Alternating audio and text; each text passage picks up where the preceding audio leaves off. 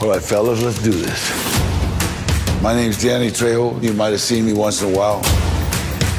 Desperado, Heat, Dusk Till Dawn. Con Air. Machete.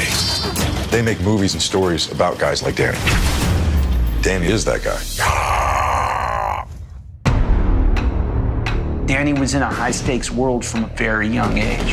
Addicted to heroin since he was 12. He was just a kid caught up in the game. I had a sawed-off shotgun and a hand grenade. I buried him, and I told my mom, "Be real careful in the backyard." This is a guy who's seen death just to get to 16 years old. It's like the Wild West. You're gonna be a criminal. Be a criminal 24 hours a day. Wow. His name rang through every prison. They knew he was coming. They always knew he was coming. I'm gonna be top predator no matter what.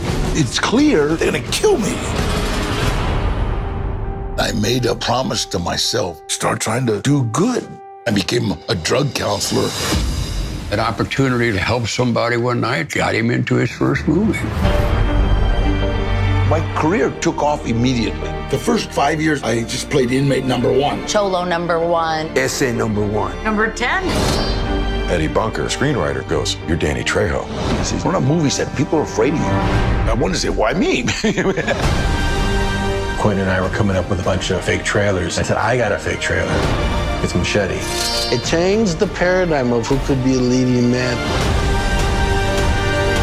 Everything good that has happened to me has happened as a direct result of helping someone else. Everything. It's the idea that I can evolve. That's Danny's life.